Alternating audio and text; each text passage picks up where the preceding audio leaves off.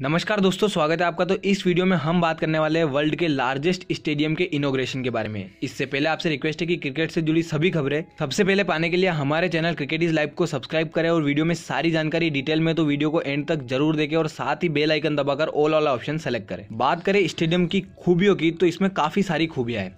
पहली बात करें कि इसकी कैपेसिटी कितनी है तो एक लाख दस हज़ार लोगों की कैपेसिटी इस स्टेडियम में है। साथ ही इसमें जनरल फ्लड लाइट्स यूज़ नहीं की गई है, इसके अलावा होलैंड से 580 फ्लड लाइट्स मंगाई गई है। और इन फ्लड लाइट्स की खास बात यह है कि इनकी रोशनी से पीछे शेडो नहीं बनती है, जिससे की डे नाइट मैचेस में और ज़्यादा आसानी रहेगी। बात करें स्टेडियम के विजन की तो प्रधानमंत्री नरेंद्र मोदी जब गुजरात के सीएम थे, उस वक्त उन्होंने इस स्टेडियम के बारे में सोचा था। दो हज़ार तेरह में वे गुजरात क्रिकेट एसोसिएशन के प्रेसिडेंट थे और उस वक्त उन्होंने उन्होंने ये सोचा था कि वर्ल्ड का सबसे बड़ा स्टेडियम इस जगह बनना चाहिए। और उसके बाद सरदार पटेल स्टेडियम को तोड़कर उसकी जगह पर दुनिया का सबसे विशाल स्टेडियम बनाया गया। जनरली इस स्टेडियम को मोटेरा स्टेडियम के नाम से भी जाना जाता है, जो की गुजरात में स्थित है। अब बात करें इस स्टेडियम की कॉस्ट की तो इस स्टेडियम को बनाने में 700 करोड़ रुपए का खर्चा लगा है। अब बात करें इसके इनोग्रेशन की तो डोनाल्ड ट्रंप 24 और 25 फरवरी को इंडिया दौरों पर आने वाले हैं। और उसी दौरान इस स्टेडियम का इनोग्रेशन भी उन्हीं के हाथों होने वाला है। अभी अमेरिका में इलेक्शंस भी आने वाले हैं तो उस हिसाब से जिस तरीके से नरेंद्र मोदी के स्वागत के लिए हाउडी करके एक प्रोग्राम अमेरिका में रखा गया था, उसी तरीके से डोनाल्ड ट्रंप के स्वागत के लिए भी गुजरात में केम छो करके एक प्रोग्राम रखा गया है। और इसी प्रोग्राम के दौरान